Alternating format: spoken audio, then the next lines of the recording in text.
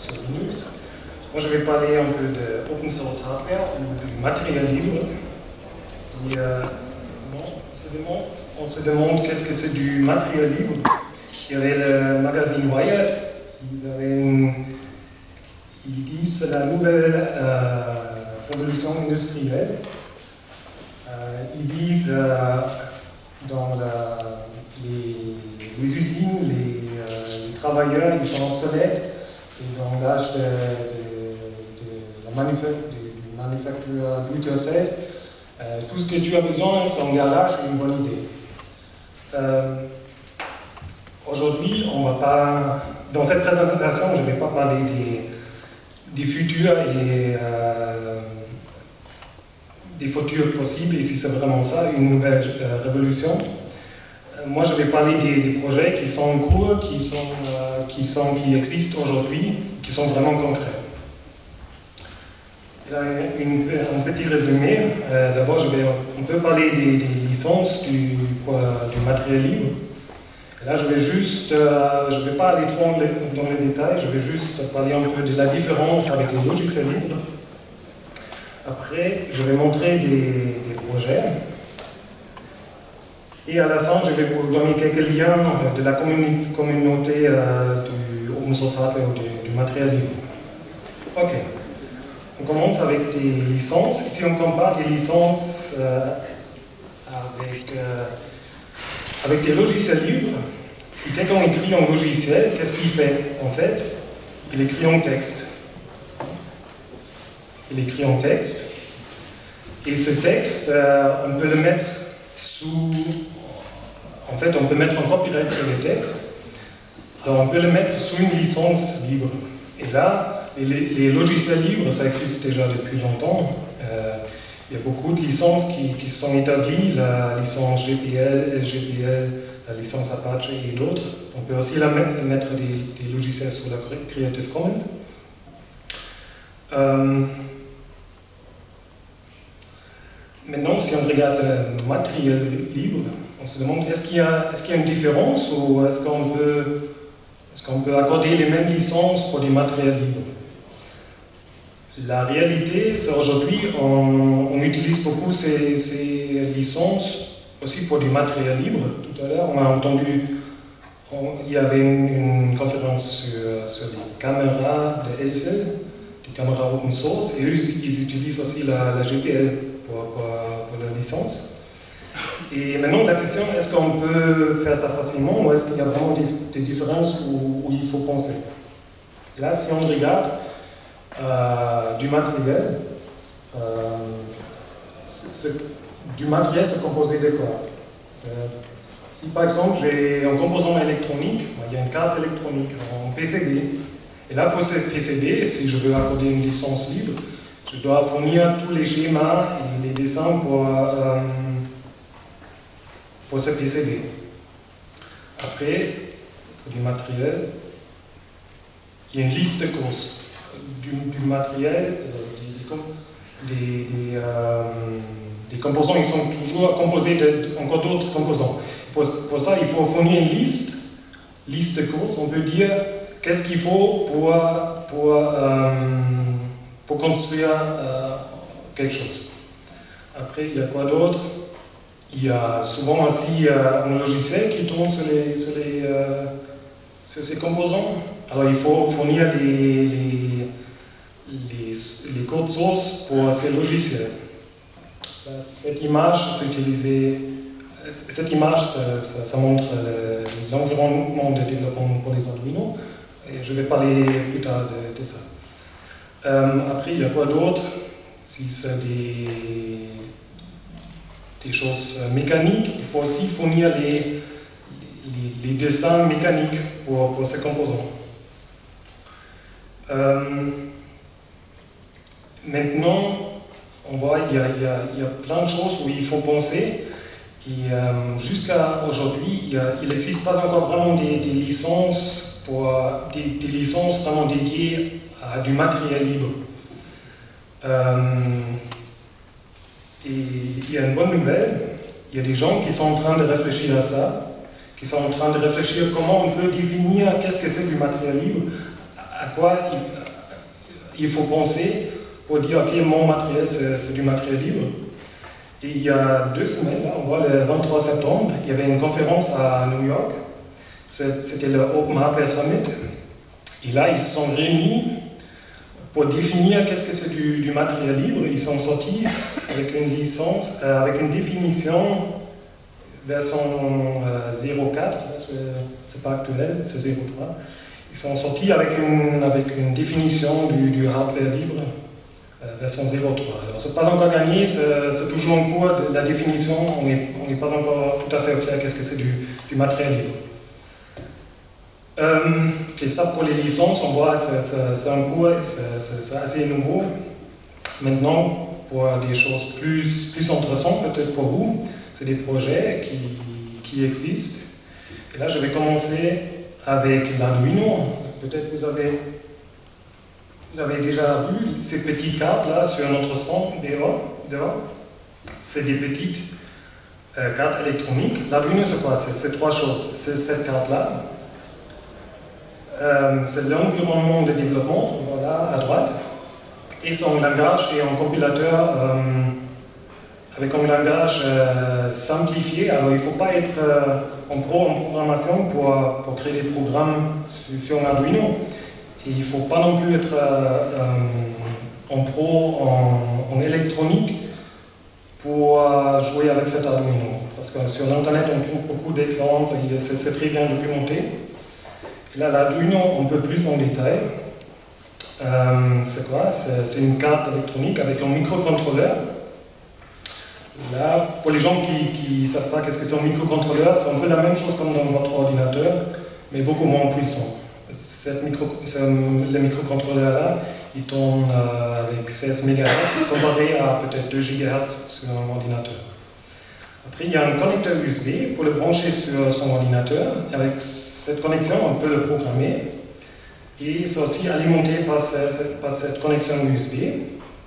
Et si on a besoin de plus de courant, il y a aussi en plus encore une prise d'alimentation. Et maintenant, le,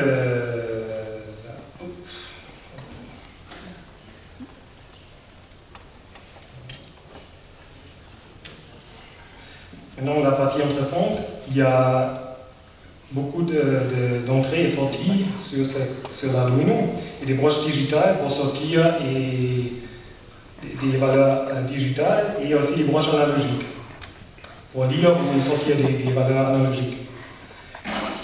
Et euh, sur, l'Arduino, on peut brancher beaucoup de choses, des capteurs, des, des LED, des, euh, beaucoup de choses. Et euh, si maintenant vous dites, ok, j'ai rien compris, qu'est-ce que ça fait en Arduino On a fait une petite démo, là il y a une petite boule qui, qui maintenant en blanc. Et maintenant, si vous allez sur Twitter et vous faites des tweets avec ce texte dedans, par exemple, si vous écrivez sur Twitter, faites un Linux ce coup, en fait, ça va commencer à clignoter. En fait, euh, dans, dans ce petit boîtier sous la, sous la boule, il y a un Arduino dedans avec, euh, avec une carte d'extension Wi-Fi.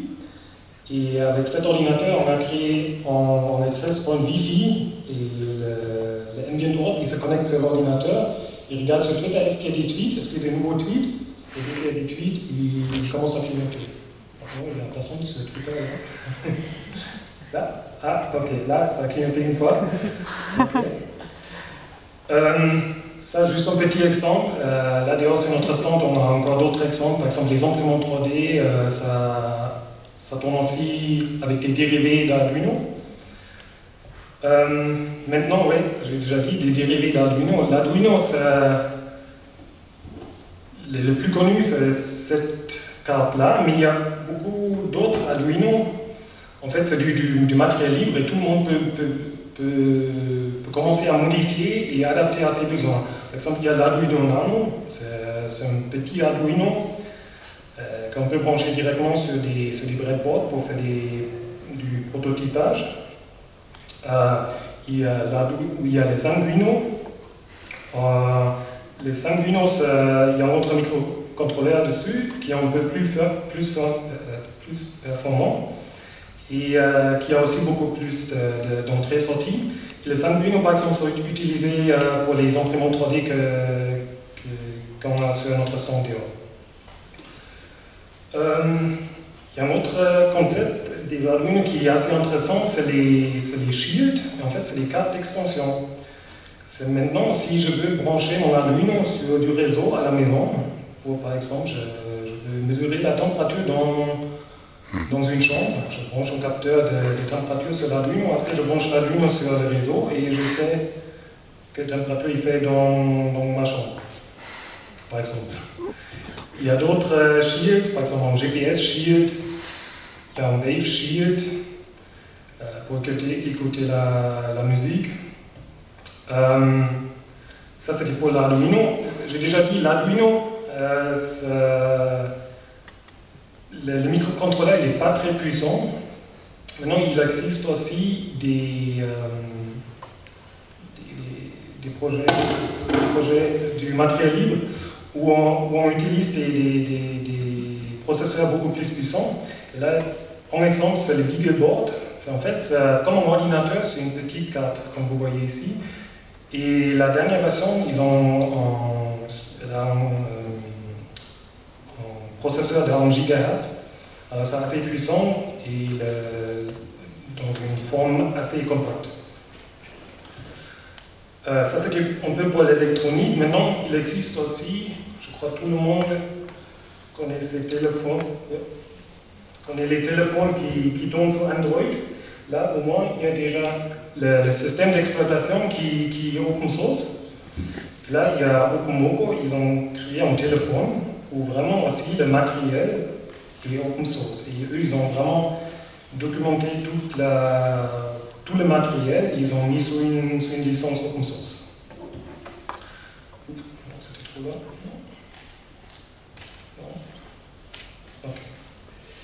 Euh, dans un autre domaine, comme exemple, la musique, il y a euh, des, pièces pour les guitares qui sont sous une licence euh, open source. Et euh, on peut prendre plusieurs pièces et on peut, avec ces pièces-là, on peut assembler sa propre guitare. Un projet assez sympa, j'ai trouvé. J'ai trouvé assez étonnant. Un autre projet, c'est le mono. Dans le domaine de musique, c'est le, le mono. Et euh, c'est quoi? C'est d'abord c'est une boîte avec plein de boutons, et derrière les boutons, il y a des petites lumières.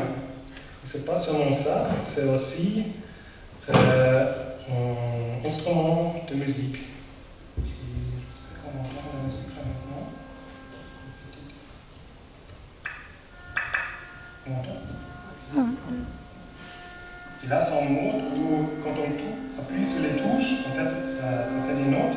Et si on appuie plus, plus haut sur, sur le moment, ça fait des notes plus, plus vite.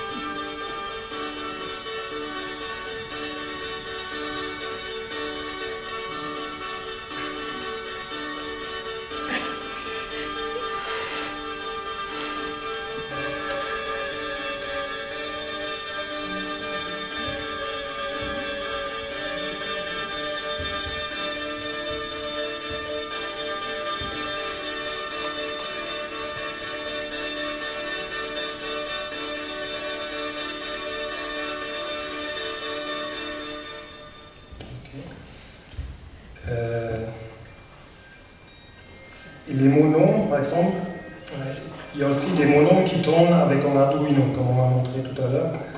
Alors l'Arduino, on voit dans tous les projets, j'ai l'impression.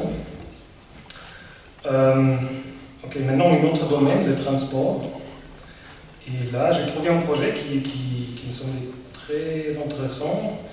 Euh, ça s'appelle Trexa. Et en fait, c'est juste la plateforme pour une voiture électrique.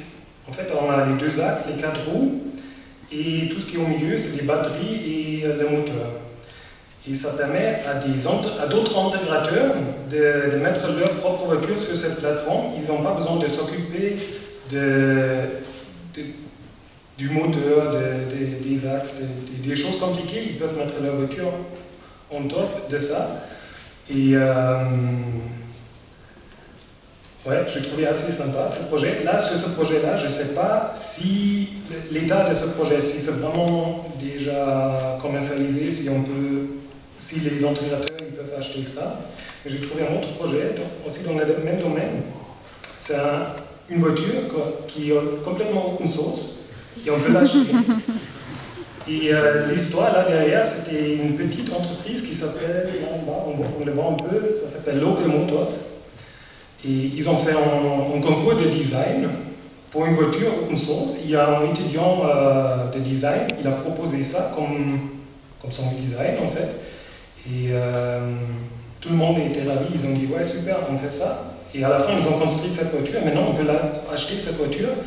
Et euh, si on achète cette voiture, on a aussi le droit d'aller dans, dans l'usine et on peut aider à construire sa voiture.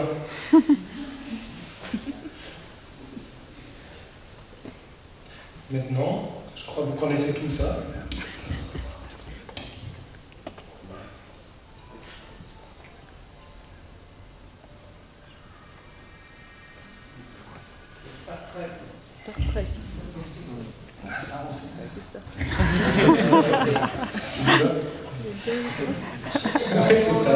c'est Star Trek, ok.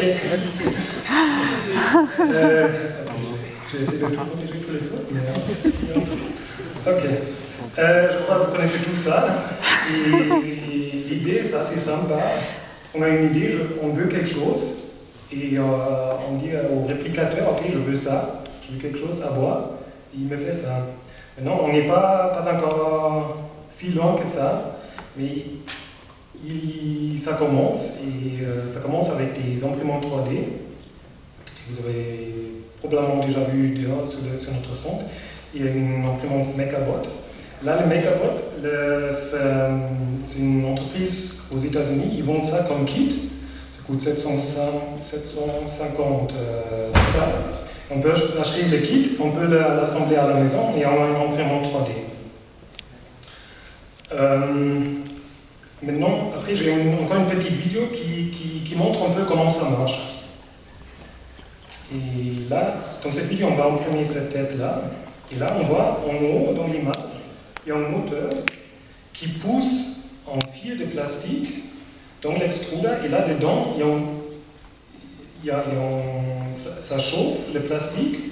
Le plastique devient liquide. Et après, ça sort euh, dans une voiture de 0,3 mm et en même temps, il y a la, plateforme en bas qui bouge en même temps. Et ça fait couche par couche, ça imprime en fait, l'objet que je veux imprimer. Ça fait couche par couche et chaque fois, l'extruder il monte en peu.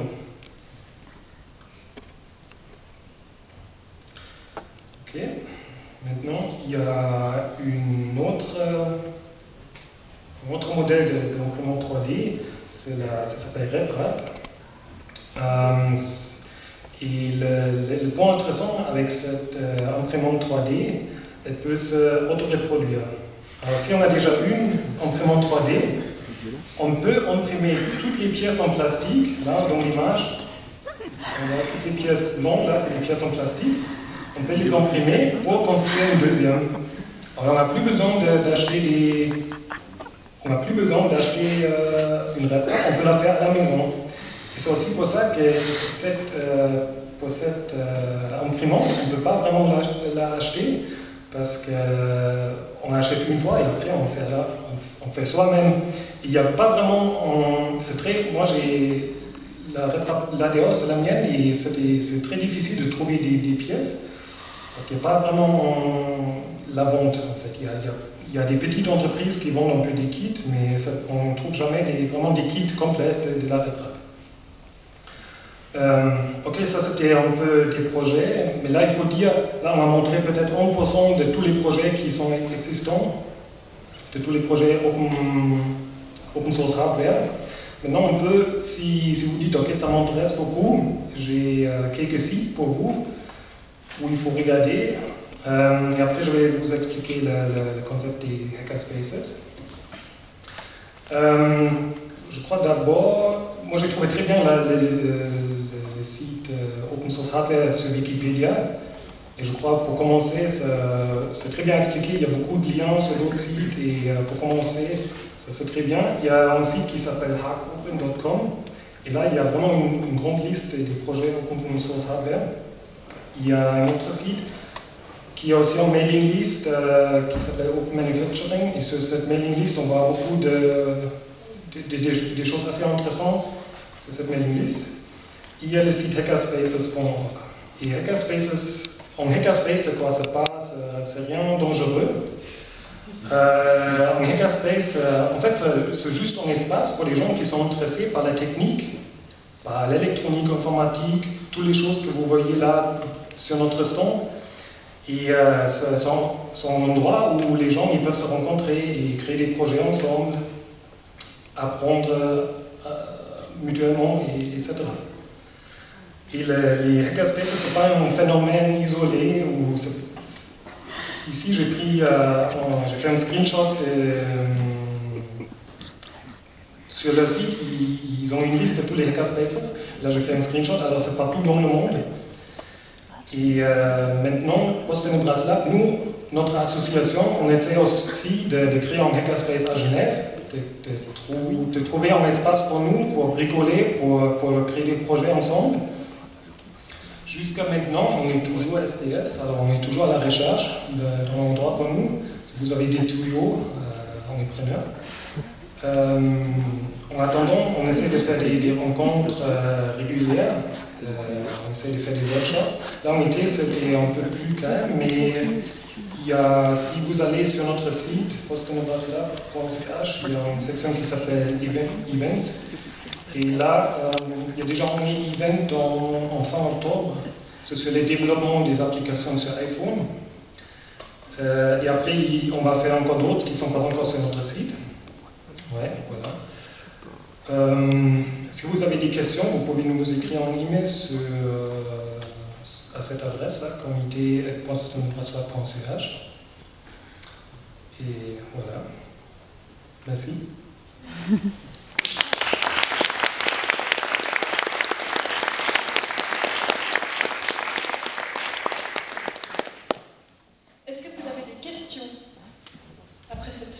présentation.